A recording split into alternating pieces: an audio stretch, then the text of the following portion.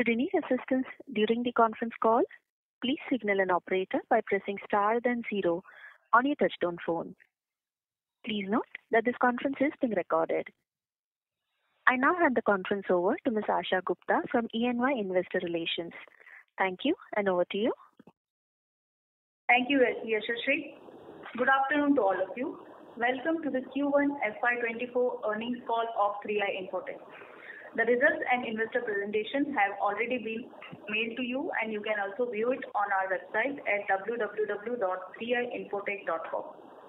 To take us through the results and to answer your questions today, we have top management of 3i Infotech Limited, represented by Thompson Gnanam, Managing Director and Global CEO, Sushant Purushan, Chief Operating Officer, Enterprise Services and CRO India, Sat Krishna, Chief Operating Officer, Digital and Next-Gen Business, Harish Shenoy, Chief Operating Officer, Professional Services and Chief Risk Officer, Sanjay Rawa, Chief Financial Officer, T.S. Mohan, Chief Human Resources Officer, Varika Rastogi, Company Secretary and Legal Head.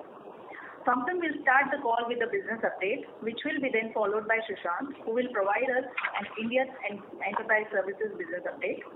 Sat will provide the update on the value business and NuRe Bharat Rail project, and then we will open the floor for Q&A session. As usual, I would like to remind you that anything that is said on this call that reflects any outlook for the future or which can be construed as forward-looking statement, must be viewed in conjunction with the risks and uncertainties that we face. These risks and uncertainties are included, but not limited to, what we have mentioned in the prospectus filed with SEBI and subsequent annual reports that you can find it on our website. With this, I will now hand over the floor to Thompson. Over to you, Thompson. Thank you, Asha. Hello, everybody. Uh, good day to everybody. I will begin this, uh, the summary of this quarterly results and brief you about the business events that have occurred during the quarter and outlook on the microeconomic situation as well.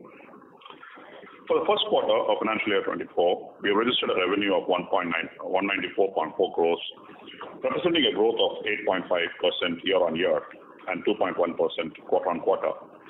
Our gross margin from the business was 16.5% during the quarter.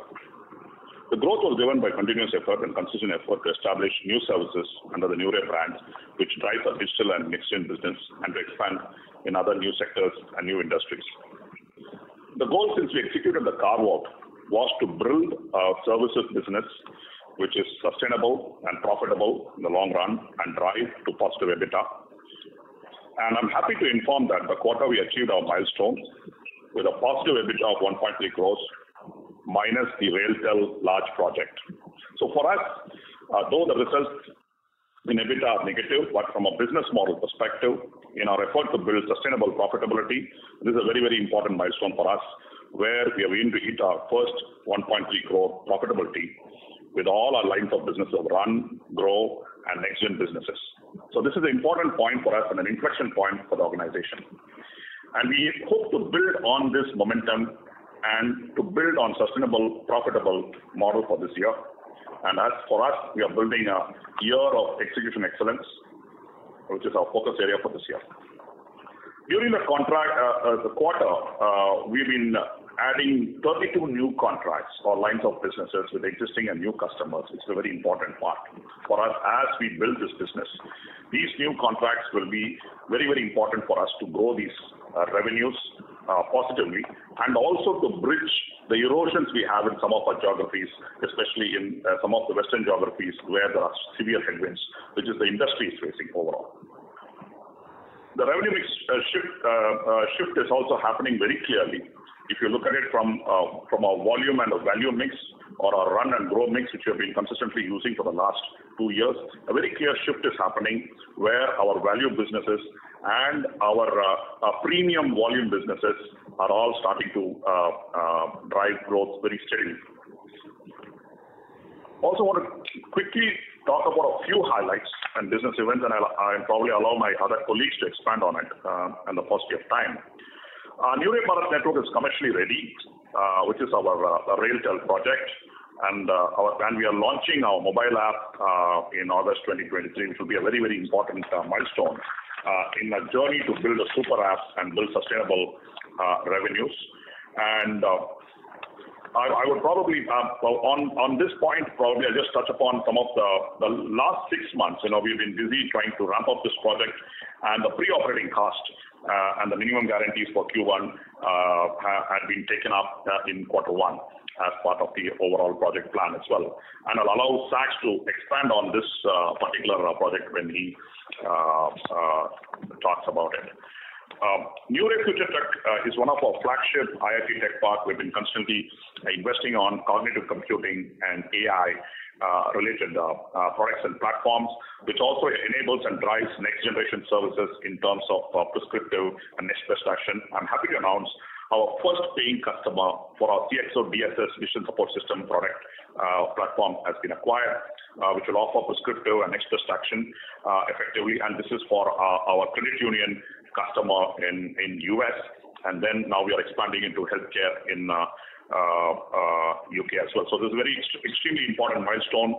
Uh, we got our first 400K order, which is a very important milestone. This also will change dramatically the entire profitability mix as well.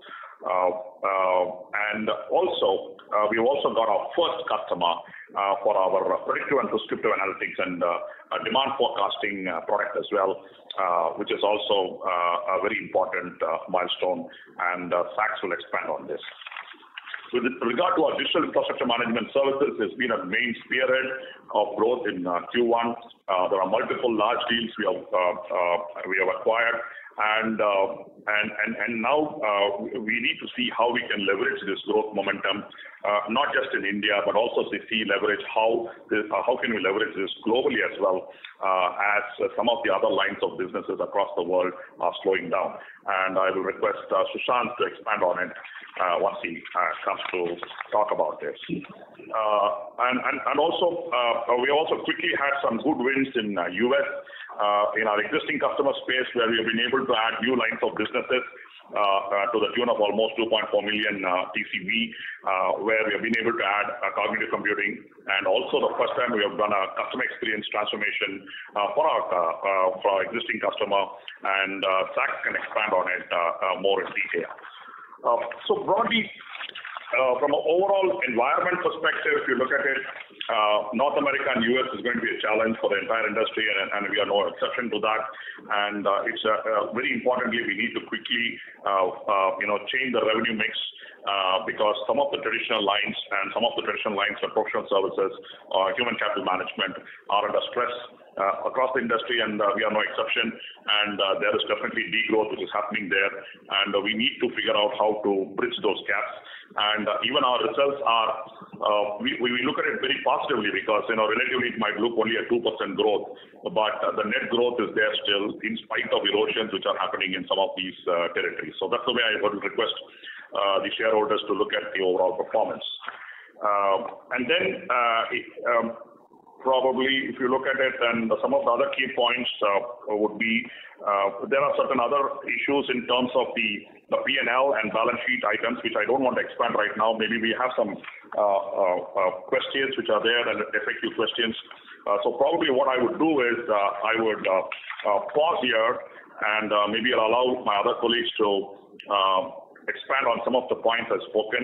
And then we'll probably get into a more detailed uh, uh, Q&A and questions where we could probably answer some of the results and some of the other very specific financial uh, aspects as well, where Sanjay can you know come in and expand on that. I'll pause here, Diwakar and Asha.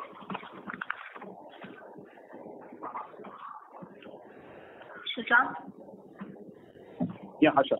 Hey, thanks, Thompson. Good afternoon, everyone. My name is Sushant here.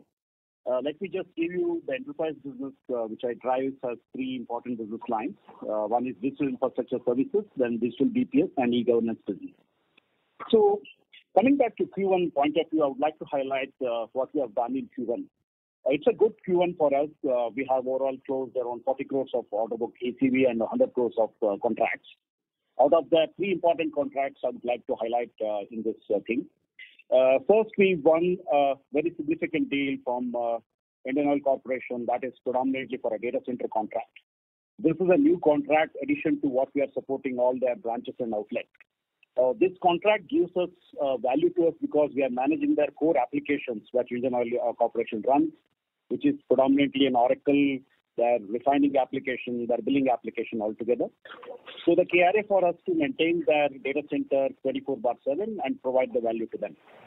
Uh, this contract is typically a 14 crores contract for three years, and uh, which is moving us from our edge support to a core support uh, to the line. Next, I would like to mention uh, we picked up one of the significant contracts from one of the private banks in India, fourth, fifth largest in private banks. Uh, this is one of the significant contracts because we will go to manage their core banking data center operations, one of the significantly important uh, uh, section within the banking network. Uh, we're going to maintain the data center operation, which runs their TCS core banking applications and all the applications which are residing in Mumbai and Hyderabad as well. So this is a contract is somewhere between uh, uh, 45 crores contract for two years. And the good things to know that we have gone live in 45 days, and incumbent was uh, Wipro here. So we've gone live in 45 days, which is one of the significant milestones, and now we are moving into a transformation phase of this contract as well. The third important contract we have won in this quarter one is uh, from an enterprise vertical, uh, where we have not been present there. That is called Bajaj Electrical. Uh, we have won the contract in Bajaj Electrical to manage their uh, digital infrastructure services, cloud, security, and network, and various other operations also as well. This is also a significant contract because this enables us to get into their uh, enterprise segment. We're also managing their dealer and distribution network as well. This is around uh, 19 crores contract for uh, five years, but it's a great breakthrough for us. but what what we'd like to bring here is all of these contracts we fought with the MNC players like in, in IDFC we have NTT, Kyndryl and Wipro. Bajaj Electric will have an Accenture, Kyndryl. So basically, we have been elevating ourselves, you know, a tier one player in this space, and we look forward to particulate the growth in coming quarter as well. We have some of uh, successes also in the second contract. Uh, we are in the advanced stage of closing few, and I hope uh, in days comes we're going to announce that as well. Uh, Thompson, this is my feedback from my side. Hey, thanks, Shashank. And uh, maybe uh, Sachs, you could probably uh, you know get in and talk about the progress in digital and next-gen business, and especially on expand on the NBN as well. Absolutely. Thank you so much, Thompson. I'm so delighted to be addressing this audience today. Thank you very much, everybody, for the time. I'll have two uh, kind of narratives here, as Thompson mentioned. First, let me take up the the NuRe Bharat network, the RailTel collaborated Wi-Fi monetization project. Um, you know, it's a very interesting project, and accordingly, there's a lot of interest from the market and shareholders. Let me address that first. There are two uh, there are two sections of updates I'd like to give on, on this business. One is the tech update because it's technologically led proposition, which is how we got into this partnership of uh, with, uh, with, with RailTel. And the second aspect is how is the business getting acquired? How are we more, truly monetizing and going way beyond the minimum guarantee that we've committed to RailTel? So on the tech update, there were our initial approach going in was to leverage the existing assets of RailTel which obviously was not tuned for, for this level of monetization. So we had to go ahead and develop uh, tech stacks ourselves. The three tech stacks we're developing, um, and I'll come to each of the, each of the stages. One is the ability for people to land on the mobile to a page which can then be the driver for monetization through ads. So for, for, for serving advertisers and putting those advertisements on that platform. That's called captive portal. The second is the what we call the AAA server, which is another tech stack which is required to authenticate and drive the user to the particular page, whether they are an authenticated user or a new user. The third is the ad server, which actually serves the ad, the actual ad by its size, whether it's video or still ad. So these are mainly three tech platforms that we had to put in. Obviously, like any other tech platforms where there is no precedence this is a platform which doesn't exist at this scale, 6,100 stations, 23 million travelers, 1.2 to 1.6 million logins, unique logins every day is not a scale that has been addressed in the industry, forget India, even in the world. So obviously it took us some time to understand the complexities and the vagaries. We've gone past all of that. And now the status is all these three platforms are at, at, at, the captive portal is already on, like Thompson mentioned, it's already gone live. We are fully operating for business. If any of you gentlemen go to any station and click on the SSID called Railwire, you'll actually see our platform working with our logo also on top of it. So you can actually experience what I'm saying in words. That's the captive portal. The second platform is the is the ad server, which is also fully integrated, so it's on, so it's able to serve as The third platform, which is still in the final stages of testing, and that should go into production in the next seven to eight days. So we're fully uh, equipped which we make from a tech platform, tech stack perspective, because it collects data and the data will then be used for analyzing what kind of users, what kind of eyeballs are we targeting, and therefore bring them back to the advertiser. So that completes the ability to deliver the value proposition that we originated and assumed going into this partnership. So what are we doing with these tech platforms being ready, right? So that's our go-to-market strategy. They really four channels of go-to-market that we're focusing on. Each of them will have various degrees of maturity as we speak. The first channel is what we call programmatic ads. This is what comes from Google. Uh, places ads, as you all know, if you're a Gmail user, you'll have those pop-up ads coming in based on the emails you're browsing or the sites that you're browsing. It's the same concept that Google will serve ads on our platform too, for which there is an integration required with Google, which we have done. It is getting now uh, into the into the flow of bringing in those ads. Just to let you know, Google Ads platform comprises approximately 80% of all ads that are that are ever placed in the in the world. So so we're integrating with that. We're also integrating with other SSPs, sales side partners, uh, as the industry calls them, uh, besides Google, to get the programmatic ads in place. What the beauty about this is it's non-linear, it's not human-centric. We don't have we don't have have sales feet on the street to be able to get these ads so they can scale very quickly. The second channel is going after going and attracting large enterprises slash PSUs because they do have a lot of budget, they do have a lot of messaging that they need to take to Bharat, which is a unique proposition of this platform. So we have close to 50 plus crores of pipeline at various stages of closure uh, with the PSUs and large enterprises. These are direct sales, these are based on relationships, and they are very, you know, pretty advanced stages of, of, of, of closure from a pipeline perspective. The third channel is what we call direct ads from medium to semi-large enterprises. This is a very, very large market which is made up of local retailers and small enterprises pan-India. In order to cover this market, we need an innovative sales approach, not the conventional feet in the street because the model won't sustain the sales cost. So what we've done is we have put a virtual sales organization, which is far less expensive, which will sell without actually meeting the customer, certain type of ads, certain type of customers, which is one channel. The second channel is a direct sales organization, very minimal, but again, going after some key accounts that we can convert them into, into ad revenue. The fourth channel, uh, uh, which is also very, very uh, compelling, is the OTT content monetization. So what we've done is we have, we have started partnering and onboarding and orchestrating uh, content from various content, various OTT players. But what is most important is we've developed a blockchain-based OTT orchestration platform, going back to our tech, uh, uh, uh you know, bias towards the business. We have deployed, we deployed a blockchain-based OTT orchestration platform, one of its kind, doesn't exist in India. In fact, this is a, once it becomes successful, we're going to take this to all media houses across the globe. It's that powerful platform. But we're using that to monetize OTT content. So your typical sachet, if you may, 25 rupees for 30 minutes of OTT content. Kind of an example of how you can place ads and how you can gain money from the OTT platform. So those are the four channels of business or revenue that we're going to generate. So, so the minimum guarantee of 14 point crores that we have to pay to, to, to the RailTel will can be easily serviced just by the one channel of revenue, which is the PSUs and large enterprises. I mentioned the pipeline of 50 crores. That alone can service the minimum guarantee, but all the other lines of business just scale way beyond that, which is the original proposition of this enterprise.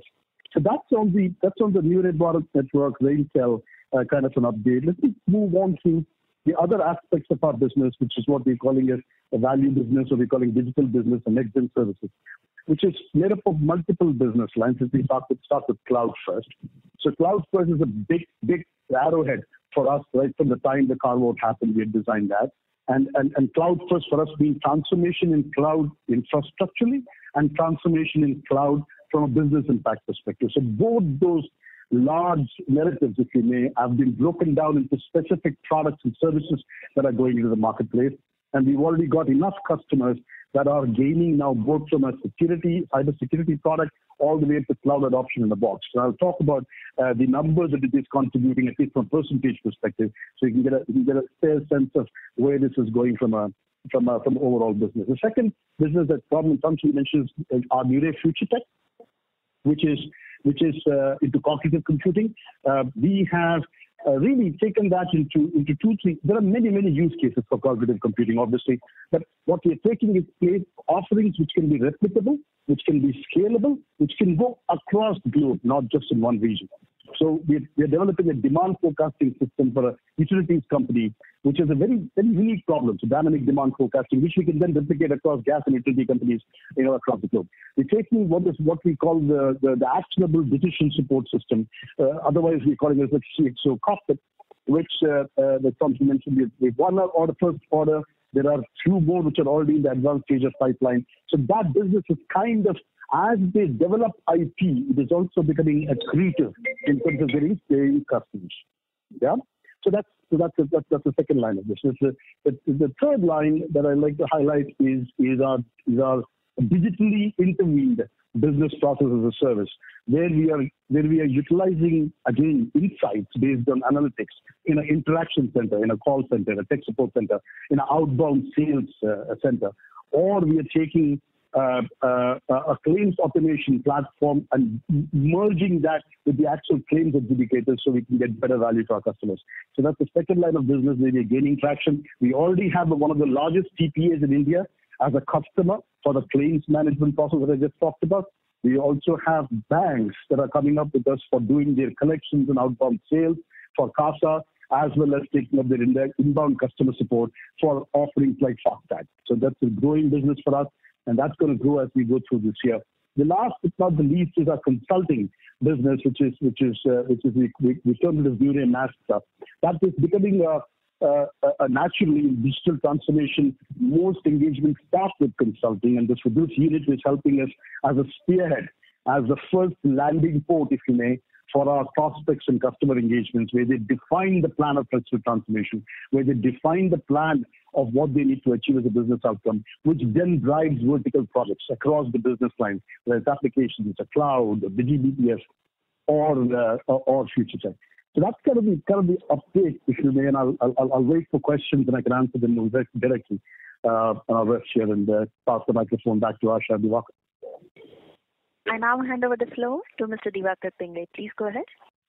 Uh, hi, hi, this is Diwakar. I think before we get on to the Q&A, uh, just want to kind of uh, bring to you notice that post the results declaration, I think a bunch of you investors uh, who have been closely following the company and some of you who have been long-term shareholders have sent us uh, a lot of questions. Uh, so, the interest of uh, transparency uh, and uh, you know to ensure that the other participants on the call also understand what those uh, questions are, what we thought was we're going to kind of read out those questions that have come by email to us, including naming the person that has sent us the email, uh, and uh, you know, and uh, uh Thompson and his team will actually go over uh, trying to explain to the best extent possible as to you know how we are addressing that or what the issues are, and post that once those questions have been answered, maybe some of you will get a fair sense of you know what the background is and uh, you know how the company kind of uh, you know, taking action. Uh, post that, we'll kind of throw it open to the general audience here for the Q&A again. Uh, so with that said, uh, I'll hand over the floor to Asha. Asha, if you can possibly first state the name of the investor and then, uh, you know, state the questions one at a time, which Thompson and his team can answer, and then we'll move to the next question. Thank you. Sure, Yogan. Thank you. So we'll start the questions received from Purushottam, an individual investor. First question from him is, in FY22, 3i team made huge provisions to cover PDD, approx rupees 160 million in Q2 FY22. While during the call uh, last time, he raised an issue and he was told that while 3i will collect this his, this money from market, but we are not just providing it from compliance perspective. I was also told that at least 50% of this provided amount will surely be collected. Till date, till date, there is no trace of what happened to that excess provision and reversal. Similarly, there was double provision for employee bonus made in Q2 FY22, with the justification that we are changing the provision norm for this year onwards, and henceforth we will provide the bonuses for the current financial year in advance. As a result of that, Q2 FY22 earnings took a double hit of bonus provisions.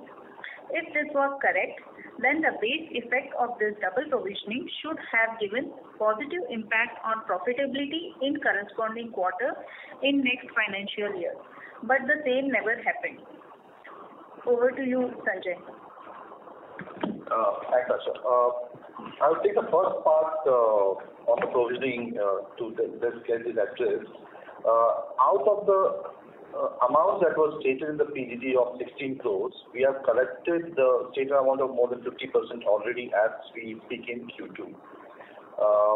The further plan I would like, you know, push Sushant to get us through with what's the plan. Uh, I'd also like to go through in the meantime the second part of the question, where we have said we have taken a double hit on account of bonus provisions. Uh, we have actually provided the amount that was approved by the board as part of the provision in the relevant years. Uh, so it's not that we have taken a double hit in our books. Uh so that's the question that, you know, it's an incorrect way to kind of reflect. Uh, I'd anyway like to answer to Purushottam on a specific point that he may have uh, on a one-on-one call to get this addressed. Sushant, uh, can you take on the how is part? Yes, Sanjay. Yes, I understand, we are focusing this as a key area. The one of the largest transaction in this provision PDD was Bihar Planning and Development, where there was a in 2019, the amount was being held by that department. Uh, we have uh, moved uh, to seek the legal option here because there was a discussion happen, and it's going in the right track right now. There are first time that the first hearing has come up, and we're hopeful that that will going to clear us.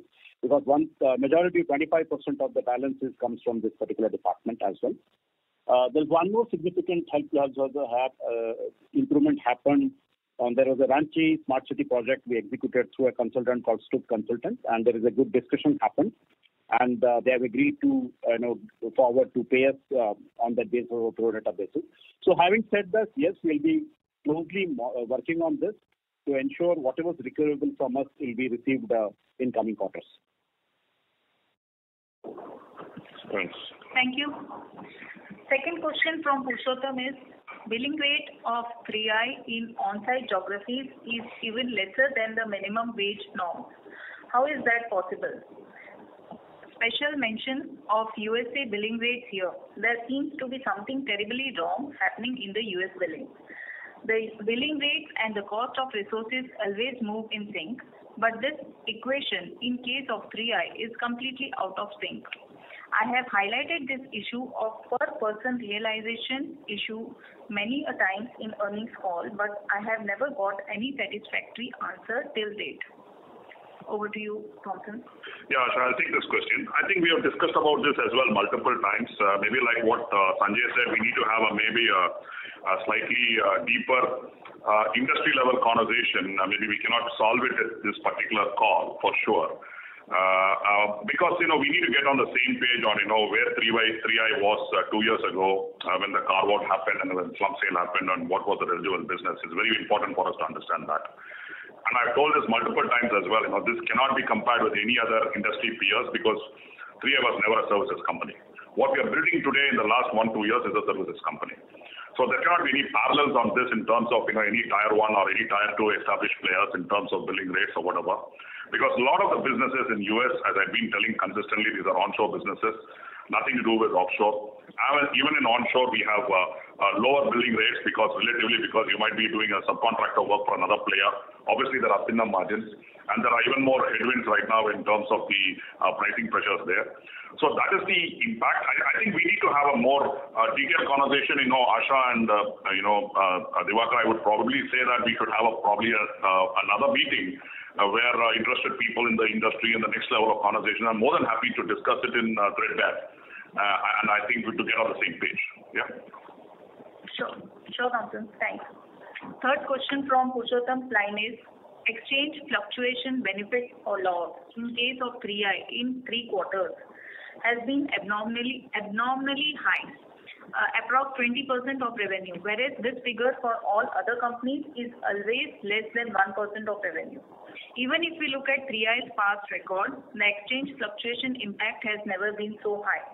We never got any satisfied answer for this issue. Suddenly, in Q1 FY23 results, this component component has come down drastically to standard levels. So how is that possible? Sanjay? Yeah. Let me uh, So, to answer to your this uh, point, uh, we our exchange fluctuation for last year has been less than 10%. So I'm curious to understand how this is at 20%, which has been stated in the in this particular note.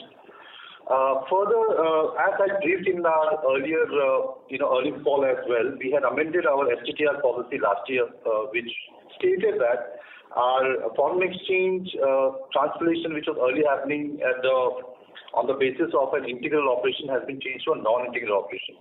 So which has more primarily to do with the way our subsidiaries work in alignment to. So subsidiaries are given more, Uh, I would say, uh, operating guidelines for them to operate on their own. So this is how we had uh, instituted the non-integral policy, which has led to the exchange gain of this amount. And I don't see this happening at a large scale now going forward because this was due to a one-time adoption of this policy.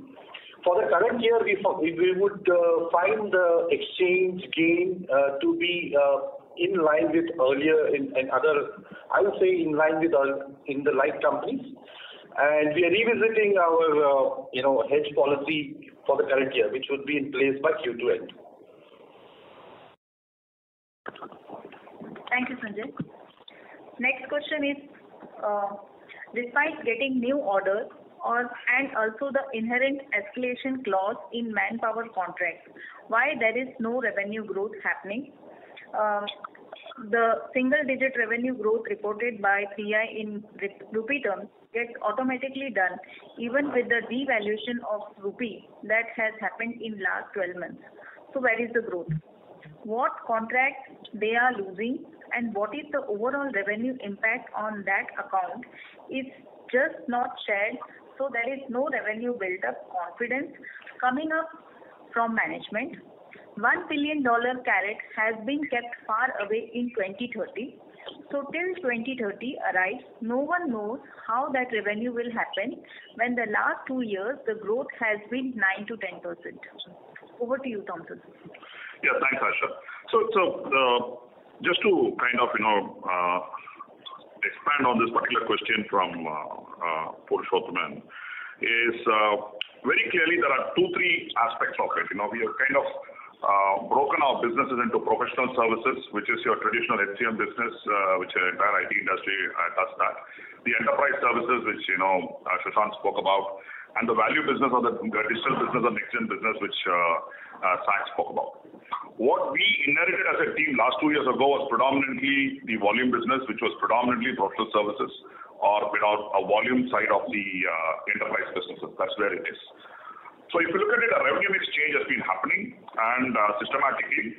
The first year was where we are building all these new lines of businesses which never existed. So that I think every shareholder should be first uh, aware of and be very clear because year one was a year of building these new lines of businesses. Forget about building new products and platforms.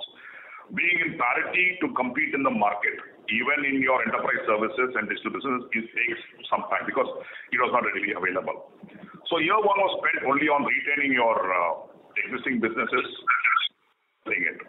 The second year today, if you look at it, where we have completed last year, is where truly the revenue mix change is happening.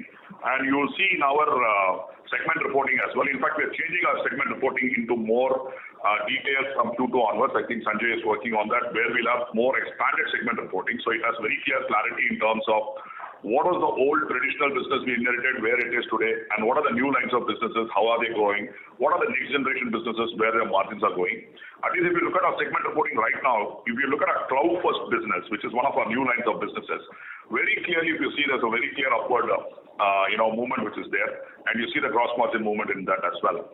And similarly, the next generation business, which is now starting, which Sak spoke about, all this will start showing a huge uh, margin uh, change which will happen.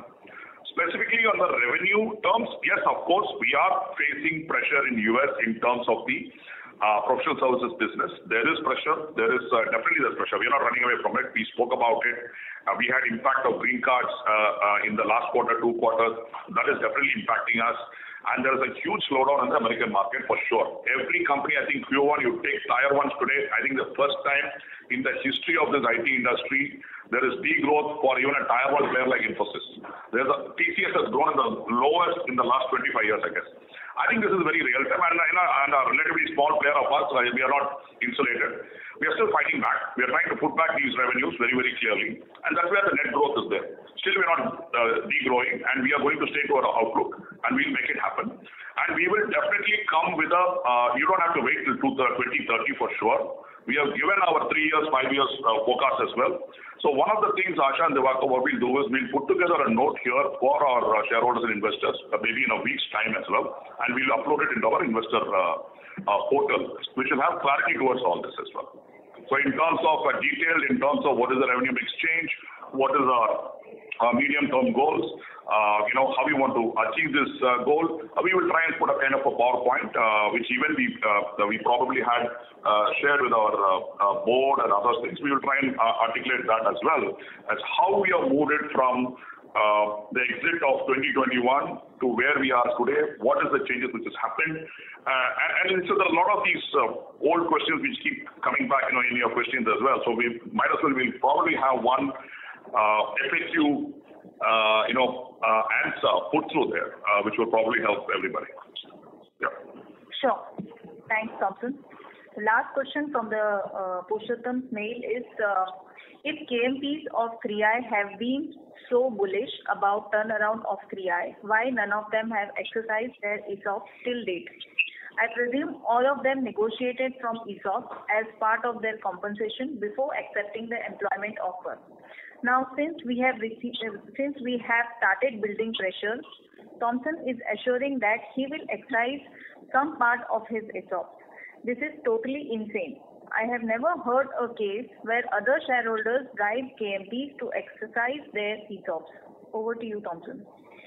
No, no, fair question. I think we spoke about in the last uh, meeting as well. So this is not a question of, you know, uh, I think we have to set the baseline right, okay? 3i is a very unique organization uh, because we don't have a promoter, stated promoter. All of us have worked in multiple industries for a long time. All of us have exercised our ESOPs in our careers. It's very, very clear. We have all been part of all this. I think we should all be on the same page. This is the first time we have a small cap to a small to medium cap company which doesn't have a promoter. So we have to be sensitive to that actually, very, very similar. So the responsibility and accountability of the management team is enormous. And that I think I expect every shareholder to be sensitive towards that. It's very, very important for that because it's a very unique scenario. But all said and done, said that, but definitely we, uh, me and my management team, we will now execute this, uh, you know, uh, the points like what Purush spoke about, we will do that to show that how we are committed because we all signed up in this organization as entrepreneurs and entrepreneurs trying to turn around the company in the absence of a promoter. So we are sensitive to that, and we will take accountability for that, and we'll do that. And we also help and uh, hope the same reciprocation from our shareholders. Thank you, Thompson. We will take next question, which we have received from Madhu Kumar, an individual investor. His first question is, the business plan and projected figures are not matching with reality. For example, you have promised a PAT of rupees 30 crore for FY 2023, but we ended up with almost nothing. The plan for the business you promised was $1 billion in uh, 2030, but at the rate of 8%-9% growth YOY, it seems to be far away in reality. The PAT for this financial year was projected more than the financial year in FY 2023, but Q1 started itself with 16 crore loss. So my question to you is, are we projecting the business based on some PAT or figures that are plucked from the air? Over to you, Sanjay. No, I'll try and first answer that. You know, I don't think uh, any of us, uh, you know, pluck any figures from the air. We are all serious businessmen, and I expect, uh, you know, the same reciprocation from our shareholders as well, very, very clearly. To state the facts, I will go one by one. One is, A, we we never told a PAT of uh, even when we did the last year, we did an outlook and a guidance. We never gave a PAT number. We said we will hit 760 crores and we will do an EBITDA of 30 crores. That was the stated things. Recordings can be taken. Facts are available. Please look at it. I don't want to discuss about the variables which hit us from the past or whatever it is. The reality is reality. We are taking that head on and we are trying to turn around the organization very, very clearly. So that's factually incorrect. That is point number one, uh, Mr. Madhu. Mr. Madhu. I think uh, we, uh, it, it's factually incorrect. The second point is very clearly, uh, we spoke about uh, this billion dollar thing. Post the carve out, when the company had no vision, mission, products sold, which was left here, we had to set a direction. It's a direction for the organization. We can be, uh, you know, we, can be naysayers to that, that's different. You set a direction where all of us work together and move towards that. The second part is how do we do that? Even that I have repeatedly told about it and we are executing it systematically. I told it and I, I think we should also probably, uh, you know, uh, this is like a repeat every time I keep talking about it. A, the traditional business is never going to get there. No way is going to get a billion dollar. Traditional B2B business will get you only year-on-year growth wherever it is not going to get there. We spoke about B2B2B. We have revenues which are there, which we will probably articulate in our segment reporting as well, where we'll say how to go. B2B2C, we have already demonstrated that. We have got into this large project of NuRe Bharat network. You wait and watch. You wait and watch how this revenue is going to happen. That is the answer for me in terms of, uh, you know, all the naysayers in terms of how this is going to get to 1 billion. I'm very clear about it. Thank you, Thompson. Next question from Madhu Kumar is, I see accounts payable more than 1,000 crores and receivables around 369 crores. How this, how did this happen? Whom we pay the, uh, whom we have to pay? You always say it's a debt-free company and auditors say a different story. Can you give clarification for this? Over to you, Sanjay. Yeah. uh, So these are old intercompany outstanding balances for which uh, we are in the process of filing our application to RBI for set off of the old balances. I think we did had stated that in our earlier uh, calls as well. So this would get done now. We are in the final stages of processing our application with RBI, and this should get done by Q2 of this year. Further, I would like to update that we, we have already formed a subcommittee of the board for reviewing and taking necessary action for legacy-related matters, which is chaired by our, our audit committee chairman, Mr. Uttamji Agarwal, and we are further looking into the matter so that we can get this addressed uh, in total.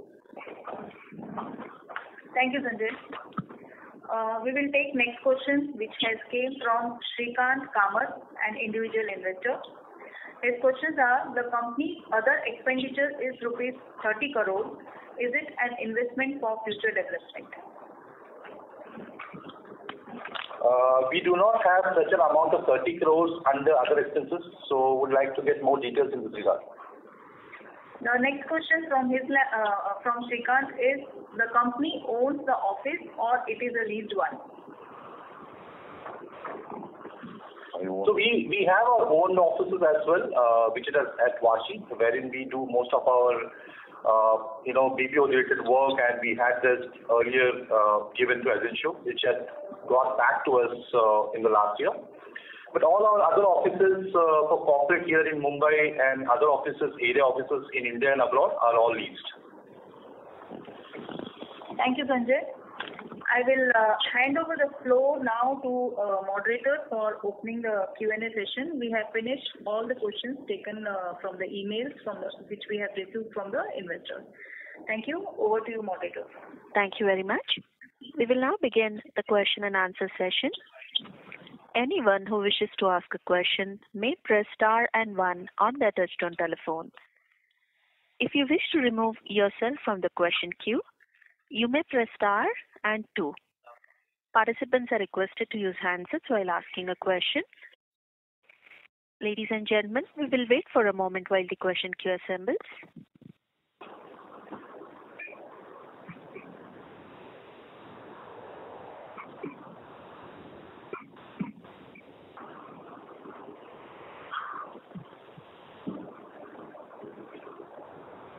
We have our first question from the line of Atmaram, an individual investor. Please go ahead. Yeah, uh, I hope I'm audible, Mr. Thompson and uh, team. Uh, My question is, I'm an investor since 2010. Very, very frustrating. I hear tall promises. Previously, I'd asked a question on employee cost. Uh, employee cost keeps growing. It's almost 70%-80% of your entire revenue is your employee cost. Is it so difficult to rationalize the employee cost, identify where you are in excess, where you are actually spending your uh, manpower? Uh, why is it not uh, so? Why is it so difficult for years together, we keep on having these expenses so high? I had asked you the same question nine months back. After nine months, I'm still having to ask the same question. I hope I don't get the same answer. So, uh, so what I will do, I'll allow my HR head to talk about us because he's driving some of these initiatives. On a broad high level, I will say definitely I agree with you. For a services business where we are today, the huge biggest component is human resources. We have to continuously keep optimizing it, and we are doing that Uh, systematically. And now in an age of generative AI and, you know, large format, this is going to get disrupted very, very, uh, you know, in a big way. And we are also preparing to do that uh, as way forward is there. Because whether we like it or not, technology is changing, is going to change the way the mix of the business is going to happen. That's for sure. But definitely we are. I'll allow Mohan to expand on exactly what steps he's taking to optimize and rationalize Atmaram. Mohan, if you can step in, please. Thanks, Thompson. Uh, hi, everyone. I'm glad connecting. So very quickly going sharp into that uh, space. It's a good observation. In fact, we've been uh, working on since the beginning of this financial year. We have identified pockets of rationalization without impacting the business and also continue to fund for the growth. So it's a fine balancing act we're trying to do. We have identified wherever the opportunities in terms of span rationalization, Uh, in terms of redundancies existing because of the technology changes. And we have in fact taken actions, and we expect to see the financial outcome of those actions uh, trickle down from Q2 onwards. So we expect that uh, employee cost as a percentage of revenue uh, to to rationalize to the extent of uh, at an overall company level to 76% from 78%. Yeah. Uh, if I can just add, I asked the same question nine months back. I got the same reply. I don't see any change that's happening in the numbers, uh, because uh, you say employee cost as a part of revenue in these days, wherein first of all, the number of employees. In these days of AI and ML, is it really required that you have so many low-end employees in your entire structure? It's something that I've not understood. These are all very general answers that I get. Probably, uh, my frustration will go to an extent that I book my losses and get out after 12 uh, or 13 years of being with this company. No, no. Fair question. So I think I'll take a step back. I think it's important for us to understand the nature of the business variance. We are currently for classical as many number of years, even before one and a half year back, we've been organized as a business of BPO services and classic infrastructure services and front-end application services, which are extremely employee-intensive operations. We started making the shift in the last one and a half years. I want all of us to come back to that shift which is happening as of now. So As we see our revenues from the newest technologies have started trickling in now, and then and then rationalization in terms of the classical business. So we cannot suddenly shift the entire business cycle for the purpose of its growth and stability. So we continue to see the growth engine coming up and our investments in people are happening in the growth engines. So I'm more than happy to have uh, some short calls to see where we are investing in people in new technologies and new business areas, and how are we rationalizing on uh, uh, uh, low low margin classical businesses while we continue to sustain them. I completely share your angst, and my expectation is if you can continue to keep observing down the line next 12 months, you will be able to see significant changes. Okay, thank you. Thank you. We have our next question from the line of Narendra from RoboCapital. Please go ahead. Yeah, thanks for the opportunity. So, uh, given the headwinds in the Western markets, are we still looking for a 1,000 crore kind of revenue this year?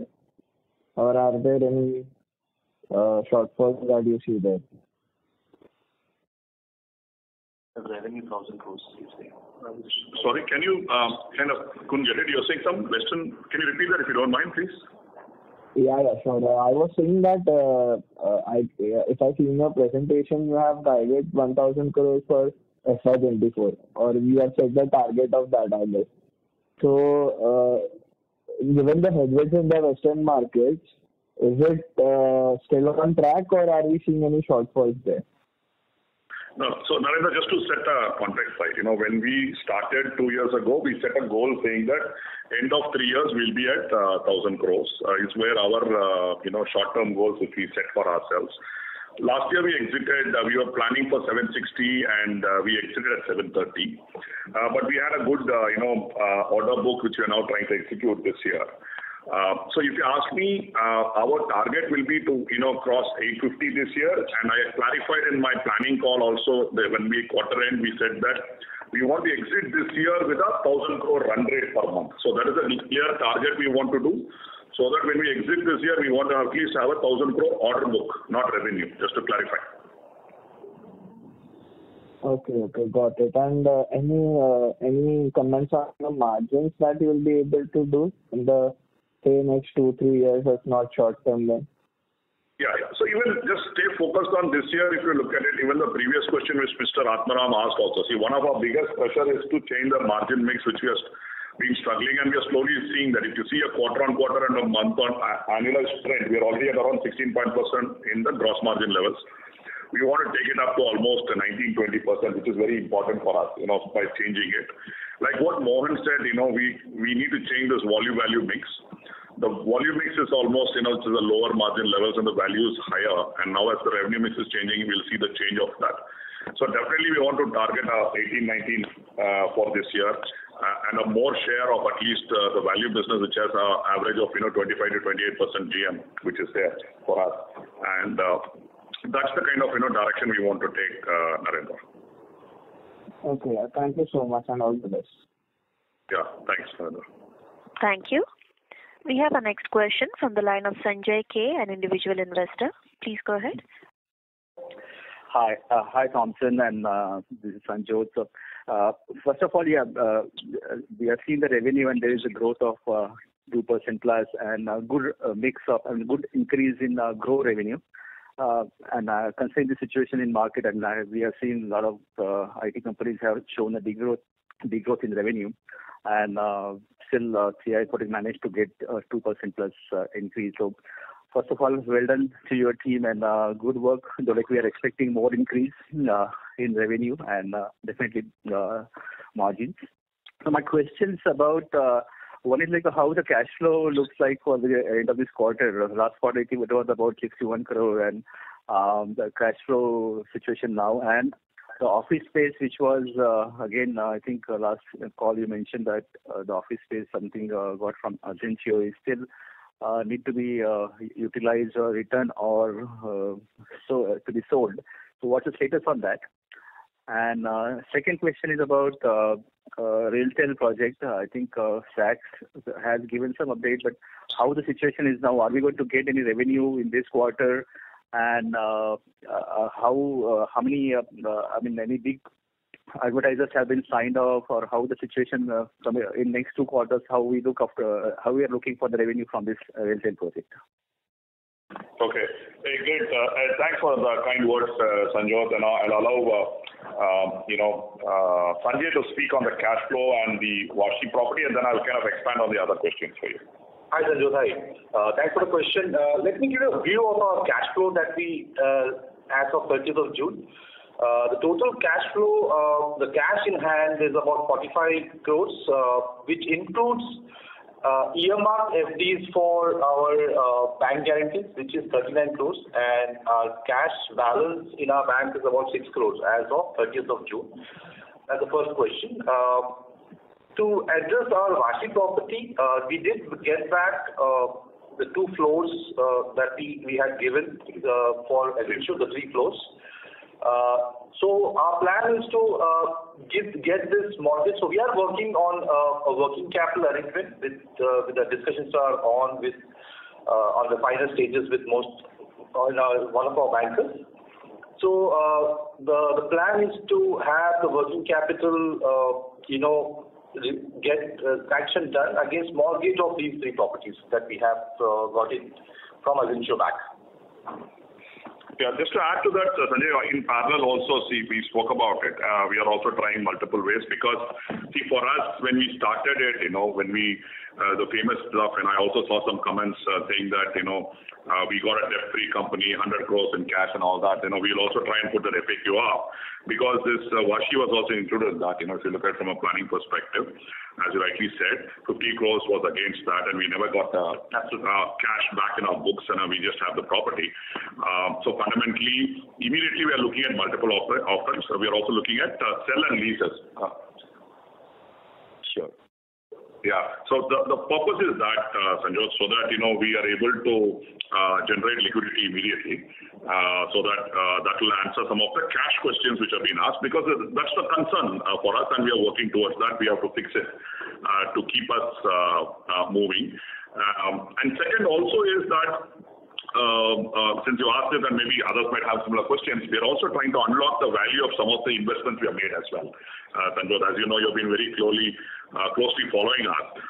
Some of the NuRe products and platform, this year we are trying to unlock that as well. So that will also be a way to infuse capital because there is a lot of interest in the market for some of these products. We are now trying to see how we could.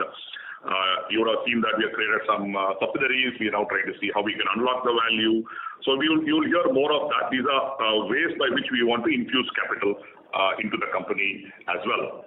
The third thing is the NuRe Bharat Network, which is RailTel as well. To your point, Sak did speak about it. He did touch about it. To your point, Q2, now we are commercially ready, right? You know, it's all ready, and we are now building the funnel and closing it. Um, we have a funnel of around 50 crores-60 crores uh, right now, uh, uh, Sanjay, and we are hopeful that we can close a few deals immediately. When I say 50 crores-60 crores, these are annual contract values, okay? Because the advertisement contracts are for a year or some of them for two years, kind of thing. Immediately we are focusing on the sponsors and the co-sponsor blocks. So we are selling off the first sponsorship, which is like a primary sponsor. If you look at our, if you go to any of our uh, railway stations, you'll see that the banner which is there, it will say like a sponsored in the when you log in, and then the co-sponsors. Those slots are being uh, sold off. So that will take care of our breakeven or other costs, fundamentally, So Fundamentally, as I explained before, uh, we have the minimum guarantee of 14 crores plus our operating cost. So uh, if you're able to close these deals, uh, that will be taken care for our uh, uh, this year's requirement. And all that other stuff which Sak spoke about will add uh, to that. You know, in terms of uh, revenues which come from Google integration, already the first few dollars have started flowing automatically. Now we'll have to figure out how to get more uh, better quality content and do that. And Third, also monetization of content as well. So all this will start kicking in, but our primary focus is to get our bread and butter sponsor and co-sponsor ads out of the way, Sanjay. Thank you, Thompson. I just have a last question about uh, how the business looks like now, uh, I mean, considering like uh, situation in U.S. and Europe. So, how the pipeline in U.K., Europe and U.S., and maybe you can just highlight like how the big deals are in pipeline or how are those wins or the number of deals you are working on increasing in U.S. and Europe regions? See, uh, uh, as I said, uh, Sanjay, see, U.S. and any of the Western geographies are a challenge. There are a lot of headwinds. But what we are getting is also, see, there are a lot of relatively challenger deals available. What I'm saying is what the tier ones are refusing to reduce or whatever it is, there is an opportunity for us, but that will be a problem, a relative problem. Say, for example, a normal deal which might give a 40% GM in U.S., uh, Sanjay, is available at 25% GM or 22% GM because the customer also wants to optimize. So those type of deals are there, but it's good enough for us right now. So we are focusing on some of those challenger deals, uh, at least in our existing account. That is one. Right now, also I said we won a TCV of almost $2.4 million Uh, in our existing accounts across various lines of business. So predominantly these are um, value businesses which uh, you know customers are buying from us relatively, which are more higher priced by tier one players.